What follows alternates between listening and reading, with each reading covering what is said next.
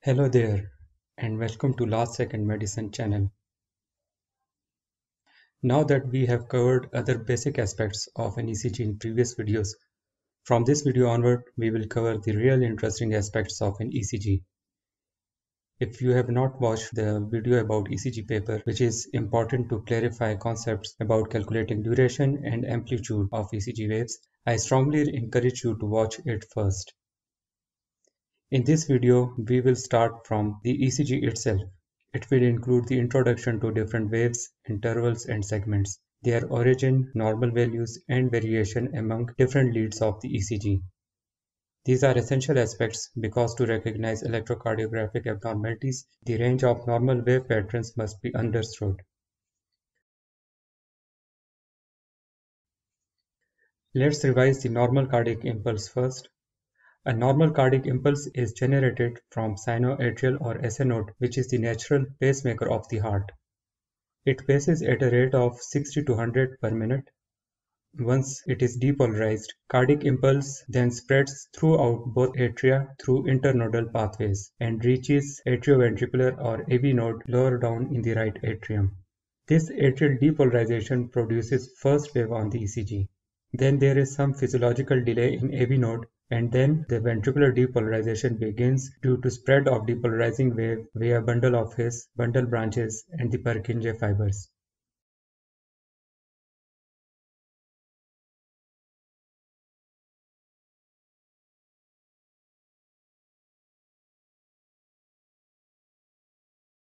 This is a single normal ECG portion. You can notice different positive and negative deflections away from the baseline. These are called waves in ECG. Then there are isoelectric portions between two adjacent waves, which is called segment. And some isoelectric portions include one or more waves in them, and this is called interval in the normal nomenclature of an ECG. All these waves, intervals, and segments are generated by and represent different phases of a normal cardiac impulse. Now coming on to waves, intervals and segments one by one in a sequence. Natural pacemaker of the heart is sinoatrial or SA node that lies high in the wall of the right atrium. It initiates atrial depolarization as already discussed which then spreads throughout the atria. Although the atria are anatomically two distinct chambers, electrically they act almost as one. They have relatively little muscle and the generated P-wave is small and single. P-wave amplitude rarely exceeds two and a half small squares that is 0.25 millivolt. The duration of P-wave should not exceed 3 small squares that is 0.12 seconds. The wave of depolarization is directed inferiorly and towards the left, and thus the P wave tends to be upright in lead 1 and lead 2, and it is inverted in lead AVR. Sinus P waves are usually most prominently seen in lead 2 and V1.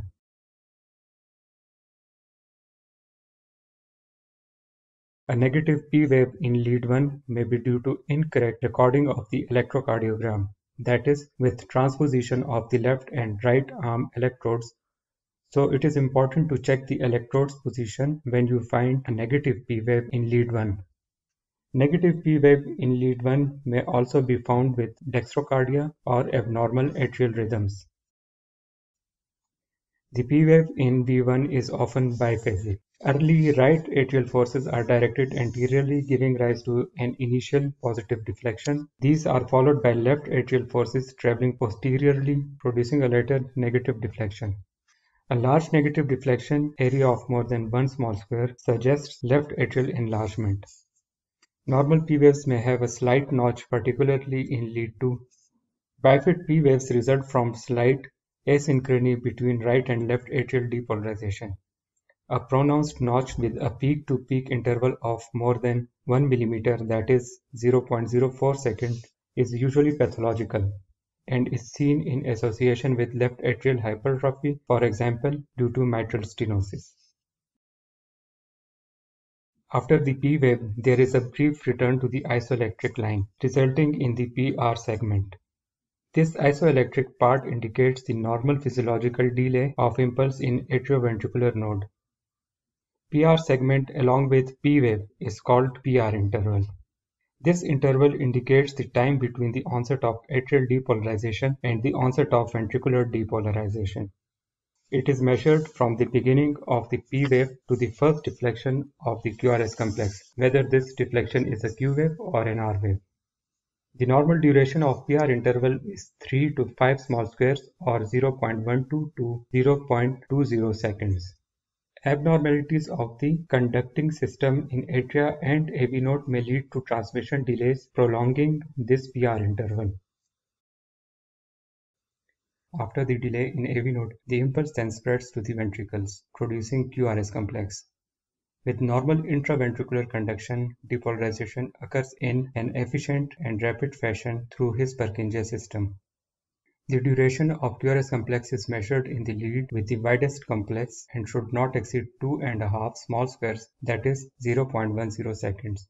Any delays in ventricular depolarization, for example bundle branch block, gives rise to abnormally wide QRS complex that is more than 0.12 seconds.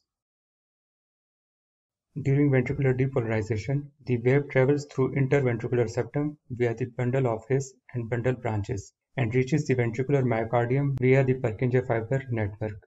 The left side of the septum depolarizes first and the impulse then spreads towards the right. Lead V1 lies immediately to the right of the septum and the depolarization wave travels towards this lead. So this lead registers an initial small positive deflection that is R wave.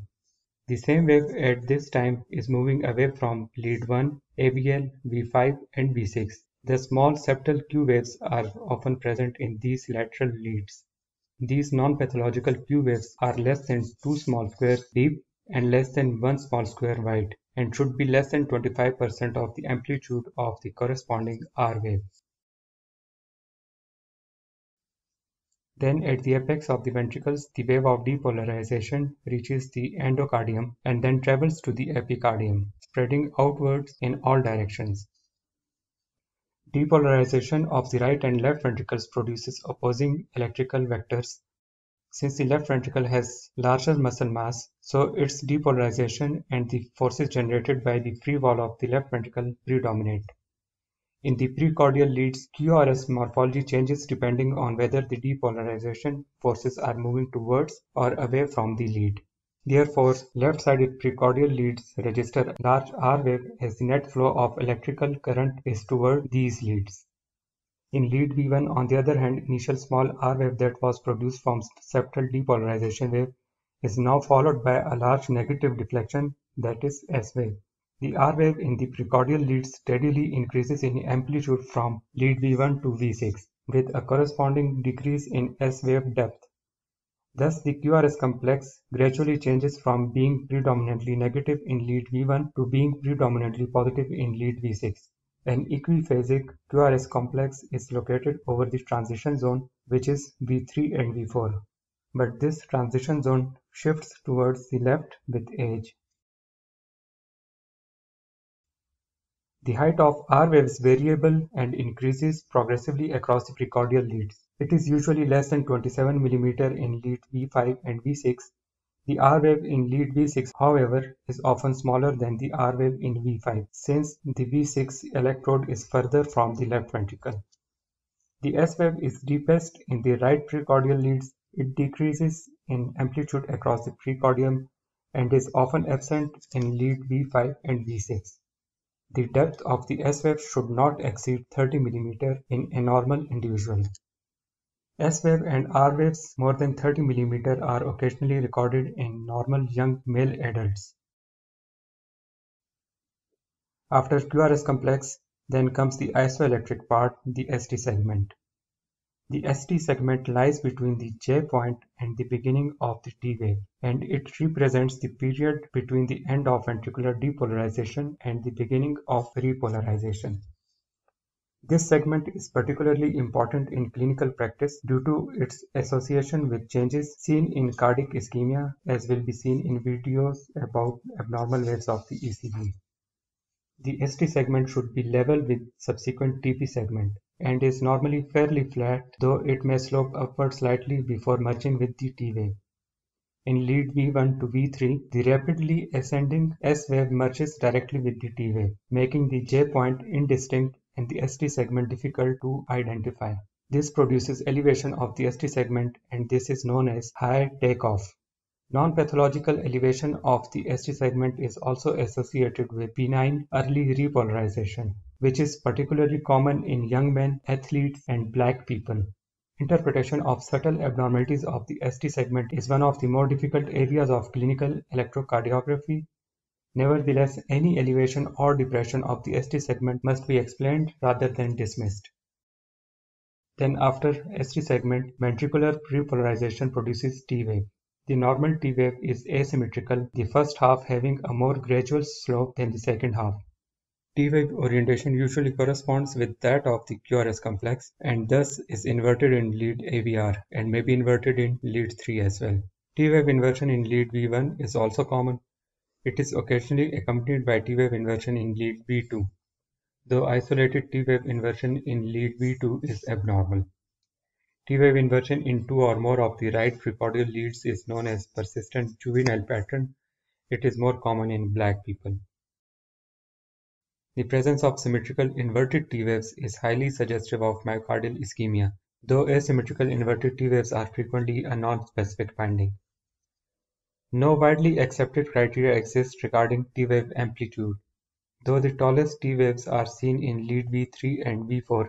As a general rule, T-wave amplitude corresponds with the amplitude of the preceding R wave. The T-wave should generally be at least one-eighth but less than two-thirds of the amplitude of corresponding R-wave. T-wave amplitude rarely exceeds 10 mm. Tall T-wave may be seen in acute myocardial ischemia and are a feature of hyperkalemia. Now QT interval. The QT interval is measured from the beginning of QRS complex to the end of T-wave and represents the total time taken for depolarization and repolarization of the ventricles. The QT interval lengthens as the heart rate slows, and thus when measuring the QT interval, the heart rate must be taken into account. As a general guide, the QT interval should be 0.35 to 0.45 seconds and should not be more than half of the interval between adjacent R waves, that is RR interval. The QT interval increases slightly with age and tends to be longer in women than in men. Weisser's correction is used to calculate the QT interval corrected for heart rate by using this equation. Prominent U waves can easily be mistaken for T waves leading to overestimation of QT interval. This mistake can be avoided by identifying a lead where U waves are not prominent, for example lead AVL. Now coming on to discussion of U wave. The U wave is a small deflection that follows the T wave. It is generally upright except in lead AVR and is often most prominent in lead V2 to V4. U waves result from the repolarization of the mid-myocardial cells and the His-Purkinje system. Many electrocardiograms have no discernible U waves. Prominent U waves may be found in athletes and are also associated with hypokalemia and hypercalcemia.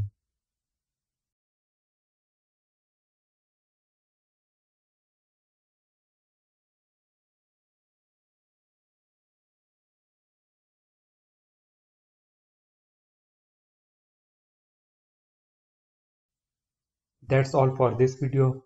We hope that this video was useful for you. If so, like this video, share with your friends and subscribe to this channel for the notification whenever subsequent videos are uploaded. Stay tuned for more videos on ECG.